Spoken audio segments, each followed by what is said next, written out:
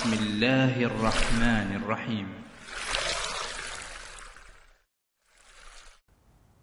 Ya. Dari Ibu Nur Aini di Kalbar.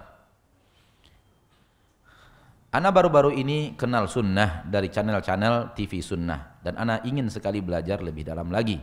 Tapi Ana nggak punya guru. Bagaimana solusinya Ustadz? Apakah cukup hanya dengar ceramah di TV seperti saat ini? Karena majelis ilmu pun hanya satu atau dua kali sebulan di tempat Ana. Duduk di depan guru, mendengarkan ceramah, sekarang sudah Allah mudahkan di seluruh dunia.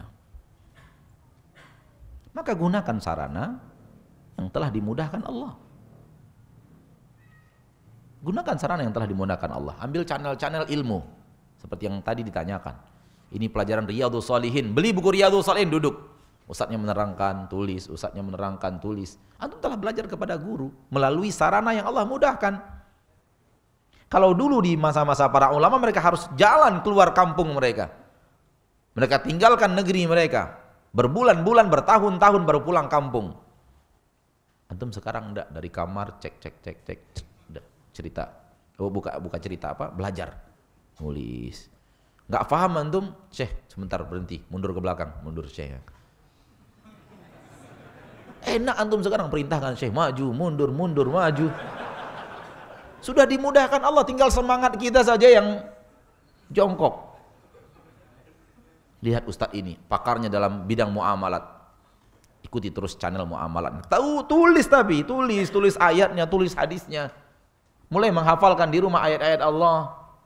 Maka ini belajar melalui sarana yang ada. Dan ini sudah punya guru. Di mana orang sekarang nggak punya guru? Punya guru semuanya. Channel-channel TV dakwah penuh dengan acara-acara ilmiah. Bahkan ulama-ulama dunia tampil di sana untuk memberikan kepada kita ilmu agama. Apalagi tinggal semangat kita aja yang jongkok.